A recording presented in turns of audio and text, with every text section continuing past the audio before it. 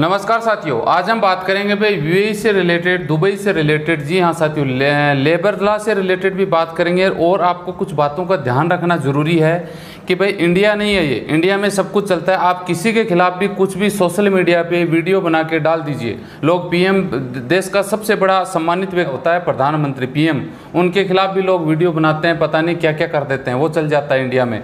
लोकतांत्रिक कंट्री है। लेकिन बता दूँ दुबई में रहते हुए अगर आप कुछ गलत कर देते हैं और गलत भी इस तरह से कि आपको नुकसान भी आपका ही हुआ है, फिर भी आप किसी के खिलाफ गलत नहीं बोल सकते। जी हाँ इससे रिलेटेड हम बात करेंगे। दुबई का जो एक लॉ बना हुआ है, उन्नीस सौ सत्तासी उसके तहत पूरी डिटेल से बात करेंगे।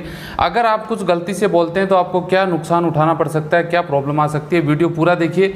अच्छा लगे तो लाइक शेयर करिए भाई चैनल सब्सक्राइब करके बेलाइकन ज़रूर ऑन कर लीजिए। फेसबुक पेज वाले पेज को फॉलो करके रखें, ताकि हर रोज़ आपको भी इससे रिलेटेड नई नई अपडेट मिलती रहे। तो चलिए शुरुआत कर लेते हैं।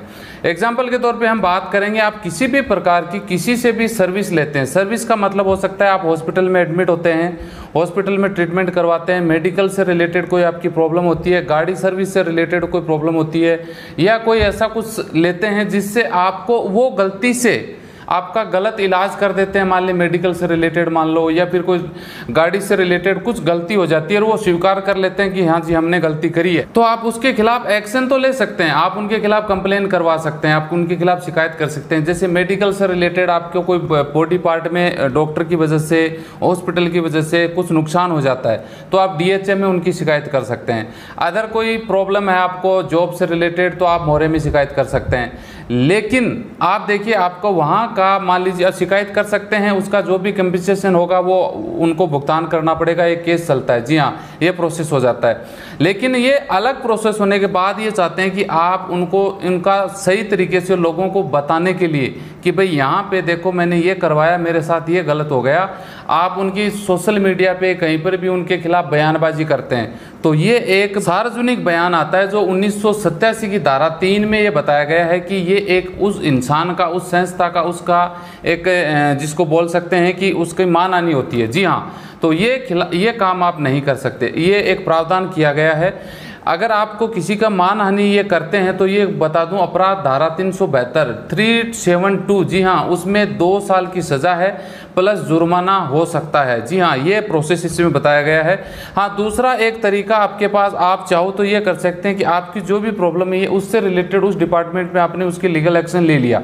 उसके बाद में वो लीगल एक्शन की आपके पास, जैसे एफआईआर पुलिस में कर दी, वो कॉपी है, या फिर डीएचए में शिकायत कर दी मेडिकल से रिलेटेड वो आपके पास अथॉरिटी है। तो वो सोशल मीडिया के माध्यम से, अखबार में प्रिंट मीडिया टीवी के माध्यम से, आप उनके खिलाफ में बता सकते हैं कि मेरे साथ ये हुआ। लेकिन फिर भी अगर वो संस्था जिसके खिलाफ आप बोल रहे हैं, वो अगर आपके खिलाफ एक्शन ले सकती है लीगल मानहानि का तो ये पुलिस को देखना होता है कि भाई आप कितने तक सही थे या फिर मान, जो मानहानि का किया है, वो संस्था, वो सिस्टम कितना सही है, गलत है, उसके आधार पर डिपेंड करेगा कि आपके खिलाफ मुकदमा बनता है कि नहीं बनता है।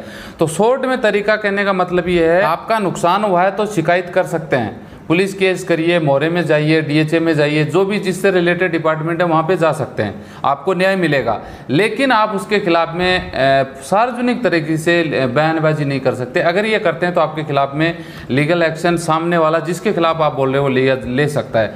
तो इन चीज़ों का इसलिए ध्यान रखना ज़रूरी है कि भाई बहुत सारे लोगों को कुछ गलत हो जाता है तो आवेश में आके उनके खिलाफ सोशल मीडिया पे वीडियो डालना, ये वो। तो इन चीज़ों का आपको ध्यान रखना चाहिए। बाकी आप आप लेबर वर्क से रिलेटेड हैं, किसी कंपनी में काम कर रहे हैं, आपको कोई प्रॉब्लम आती है तो वो वीडियो शेयर करने में उनमें फ़र्क है। समझ गए बात को? तो ये वीडियो आप लोगों से जानकारी के लिए बनाया था। वीडियो अच्छा लगे लाइक शेयर करिए। आपको ये बातें समझ में आ गई होगी। ध्यान रखना, सावधान रखना, किसी के खिलाफ में ऐसे ही भाई गलत। हाँ ठीक है, आपको नुकसान हुआ तो उसकी कंप्लेन करें। आपको जिस भी डिपार्टमेंट के थ्रू कंपनसेशन मिलेगा, आपका मुआवजा मिलेगा, वो देने, उनको देना पड़ेगा। लेकिन आप सार्वजनिक किसी की बेजती नहीं कर सकते। शॉर्ट में तरीके में बताऊँ तो। बस वीडियो अच्छा लगे लाइक शेयर करिए। मिलते हैं नेक्स्ट वीडियो में अच्छी जानकारी के साथ। जय हिंद, जय